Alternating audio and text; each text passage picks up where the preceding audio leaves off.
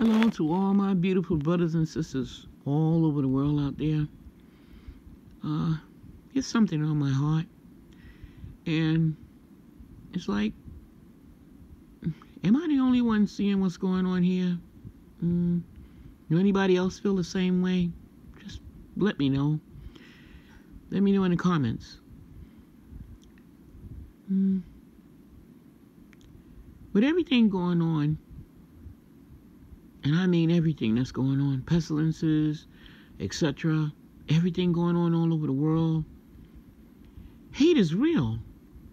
And I mean, it is hateful. And it's rearing its ugly head. How is it that, as of lately, and I mean, it's been going on for a couple of years now, for some time now, the Texas border, the Mexican border, people were coming in by the droves, right? And uh, managed to make arrangements for them, make you know, put them in hotels, pull them in by the train loads, the bus loads, the plane loads, you know. And then we had a recent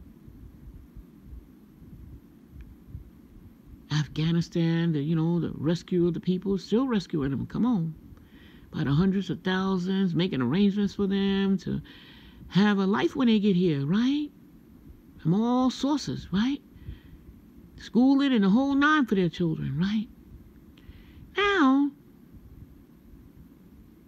the Haitian who's seeking asylum, and rightfully so, how come all of a sudden people find millions of dollars and billions of dollars to put up a border?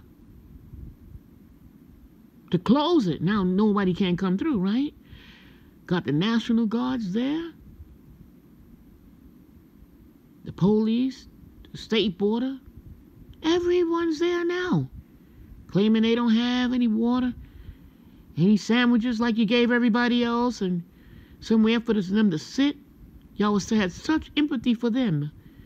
But now we have the Haitian at the border, and you're talking about Biden immediately gonna go and make sure there's an expulsion and they deportated deportation immediately. Um, maybe it's just me, but what is the difference between the, migrants at the border now and the migrants that was there then, and the ones you still flying in on planes and so forth? What is the difference? Are they not all people? Are they not? Didn't God create them all? Isn't America, America supposed to be the home of the free and the brave and so forth? You know, the land of the free. So, why is it that now the border can be closed and everybody seems to know how to find their way to the border when they need to now when it comes to certain ones, right? My, my, my. That hateful bird is real. It is real. And I know I can't be the only one that see this and feel this. It hurts because I cry for everybody. When I see little, the little children, when I see the people struggling to get across, I say, help them, help them. And then when it come to certain ones, you're like, we gotta hurry him, get him out of here. We gotta hurry him, deportate them. Oh, we don't have enough water. We don't have enough. We don't even have sandwiches put them. We don't have nowhere to sit them. We don't have enough resources to supply them. Woo! God is not asleep, and my Father is not slack on His promises. All of you hateful birds out there, woo, and the government and everywhere else. God see you. He sees you. Yeah, he loves you. And he sees you too. And he see that heart of yours. So just remember that when you're treating somebody else, when you got one that you have, uh, what is that? Respect of persons. Because see, Father has no respect of persons. You remember that when you treat somebody else's child, when you send somebody else that's looking for a, asylum and trying to get away, trying to make a way where there's none, you know, God is a waymaker. And just as he made a way for you, because you wouldn't have that job it wasn't for the Lord. You know? And he rained on the just and the unjust. And I tell you, I love all. But this treatment that I'm seeing from one angle to the next, from one person to the next, y'all hateful birds out here for real. And y'all are within the government and everywhere else.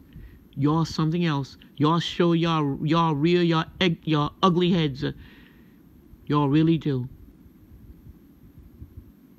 And God love you too, you know. But you need to repent and turn from your wicked ways. In Jesus' mighty name we pray. Anybody that haven't given their life to Christ, please give your life to Christ.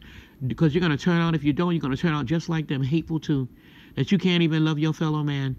As the Father said, love the Lord thy God with all your heart, mind, soul, and strength.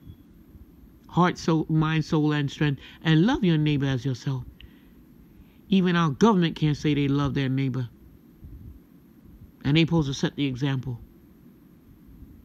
America nothing. As a friend said, damn Erica. God bless America.